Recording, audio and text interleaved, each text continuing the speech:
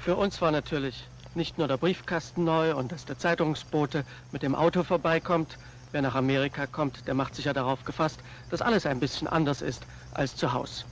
Wir zum Beispiel hatten gedacht, dass die neue Welt alles zum alten Eisen wirft, was älter ist als ein paar Jahre.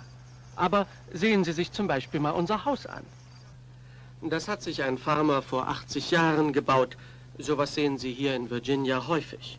Und was das alte Eisen anbetrifft, unser Haus ist aus Holz. Natürlich muss man es regelmäßig streichen. Die junge Dame da oben ist unsere älteste Tochter Sabine. Sie verdient sich ihr Taschengeld mit dem Pinsel. Das kostet natürlich Zeit. Time is money. Zeit ist Spaß in dieser Küche?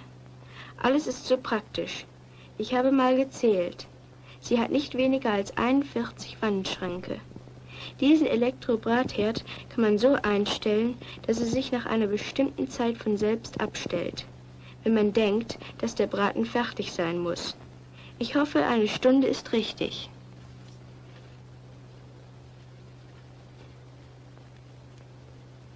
Inzwischen kann man schon mal die schmutzige Wäsche der Buben in die Waschmaschine befördern.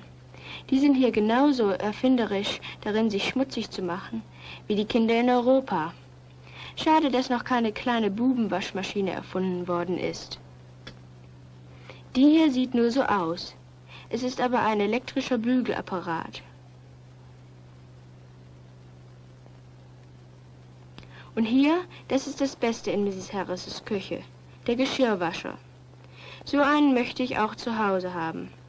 Mein Vater denkt aber nicht daran, einen zu kaufen. Er sagt, die Hände sind der beste Geschirrwascher.